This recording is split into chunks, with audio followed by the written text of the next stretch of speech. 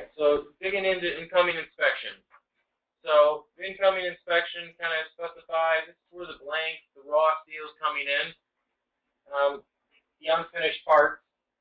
So what we're going to do now is we're going to introduce you to the QDM data entry portal. What what a data entry portal is is an is a tool that uh, has the ability to track the information or the key characteristics of the incoming parts that's coming uh, from the shipment that are going to be sent to the processing.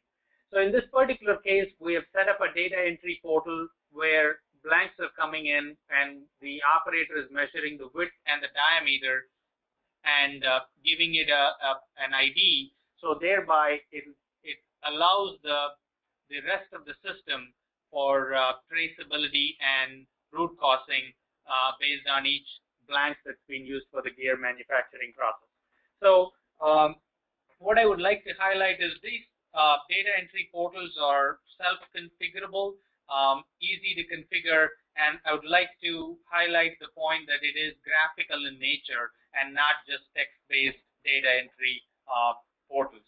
The system also allows you to kind of walks you through the, the operator on what data that needs to be measured. Um, first, I am going to type in uh, product ID. Um, and uh, now the system's prompting me with a leader line showing where the measurement needs to happen for the blank diameter. Um, let's say the operator measures and says it's uh, 10.89 and um, now the now the uh, system's prompting the operator for the width of this particular blank 1046 um, say 9.8 now this data is sent to the database and the system automatically updated the two values on the chart, making it a live data entry portal. It also recalculated all the statistics based on the uh, uh, based on the data that's entered. So the operator at the incoming station always has a clear view of what's coming in and what is the statistics and the pass-fail criteria of the blocks that are being passed through the system. Um, we are going to see examples of the same data entry portal at multiple stations um, as, as the blank progresses through the plant floor, but uh, you will see the graphical nature of it changes because each station requires a different data entry uh, portal configuration. The next cell that we have is going to be our manufacturing cell. Um, this is kind of where the individual parts are made. Uh, maybe this is where we're going to turn the raw steel, uh, do some milling, do some grinding, uh, drill the holes. Uh, again, we're just attempting to meet the print at this level. And this is where we're going to introduce you to the QDM satellite station. Um, we're going to go ahead and look at an example there. Okay. So now we are at the data entry portal of the uh, of the gear station, one of the manufacturing cells. So here, again, the, uh, at each one of the cells, there are some key criteria that are tracked, and the system offers the same level of uh, walkthrough that's required, a graphical walkthrough to prompt the user to enter the values as required.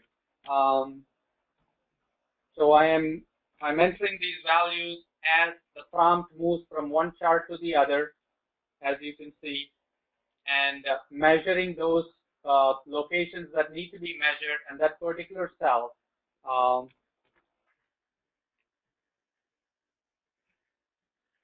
now the system registered the information the job sequence number for that particular part from this manufacturing cell and sent that to the central database and it updated the, the screen uh, on the pass-fail criteria for that particular cell, for that particular features that are measured in that cell.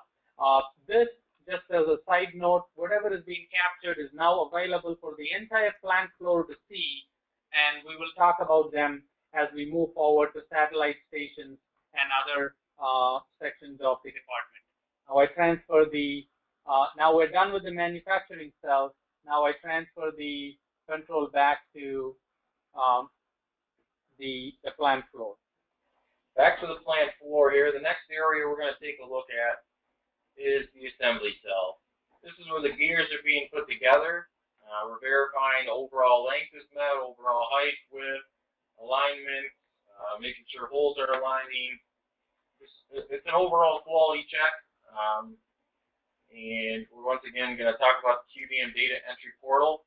And we're going to see how that's used.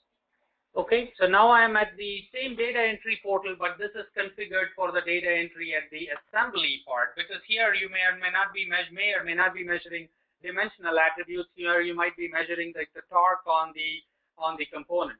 So I'm now it's asking me what's the torque on the final assembly on the right right hand side, and um, let me enter the torque on the right hand side, and now it's prompting me to enter the torque on the left-hand side, and whatever tool that I have at my disposal there to measure, measure the torque, we use that and measure that, and that information is entered. Um, so as soon as that information is entered, sent to the database, and it refreshes the screen with the latest information, including updating of the statistics. Um, we, we are we have looked at three different layers of data entry portal, but what we want to highlight here is it is the same concept, but you would see that all three of them have their own configurable interface, which is very easy for the user to configure, and the graphical nature of the of the data entry portals, allowing the user to uh, to walk through the part uh, in a graphical way and uh, uh um, and and run through the system.